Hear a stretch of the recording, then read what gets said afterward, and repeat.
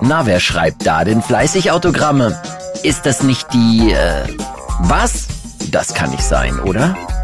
Hm, alles deutet darauf hin, aber ist sie das wirklich? Äh, oh, das kommt mir irgendwie bekannt vor. Aber was kann es denn wirklich sein? Und da, da steht's auch drauf. Hm. Ja, jetzt erkenne ich sie auch. Michaela Schäfer. Dessous im Dschungelcamp. Ja. War das gesponsert alles?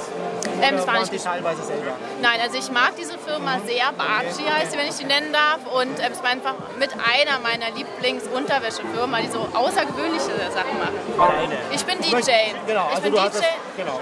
von der Pike auf gelernt oder? Also ich bin DJ und lege selber auf und ähm, habe keine Mix-CD und ich nehme Unterricht sogar. Michaela Schäfer zum Anfassen. Live und direkt und in Farbe. Also, wer Lust hat, Michaela live an den Turntables zu erleben, einfach auf ihrer Website nachsehen. Und so schrieb sie Autogramme für Groß und Klein und ließ sich von hunderten Leuten festhalten. Jedenfalls in Bild. Und einen neuen Kalender hat sie auch mitgebracht.